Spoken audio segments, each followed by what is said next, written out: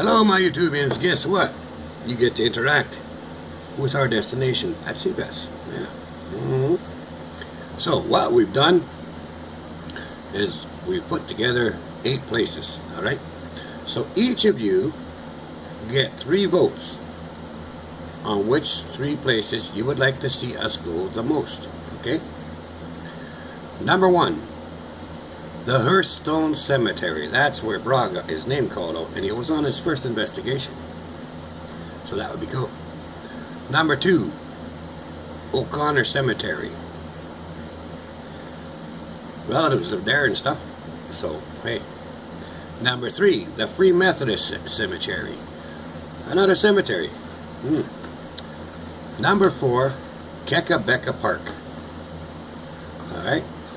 Number five are Old Bridge Support Pillars in Hearthstone. Used to be a rail train go over there, but that's all gone except the pillars are still there.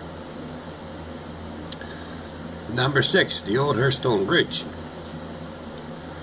Number seven, the Ontario Dam. And number eight, Hymers Village. Okay?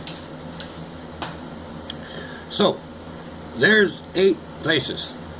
Now, what we want you to do is each of you to pick three. Three, three. I can't do that because my fingers don't work. Uh, three. pick up three places that you would love to see sea bass go to. Okay? So you're going to be make big decisions here. So you decide. I'll go over it again. One, Hearthstone Cemetery. Two, O'Connor Cemetery. Three, Kakabeka Park. Oops, sorry. Let's start that again. One, Hearthstone Cemetery. Two, O'Connor Cemetery. Number three is Free Methodist Cemetery. Number four is Kakabeka Park.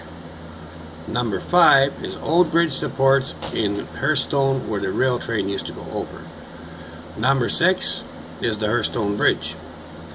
Number seven is the Ontario Dam and number eight is Hymers Village. Alright? So now, you guys decide, where are we going? I don't know. Do you know? What about you, Astro? Do you know? See, we don't know. We won't know until we tally your votes. So, make sure you put your votes in so we know where we're going. That's fair. Alright, until next time, take care of yourselves, take care of your family, watch out for ghosts, and have a great day. Bye.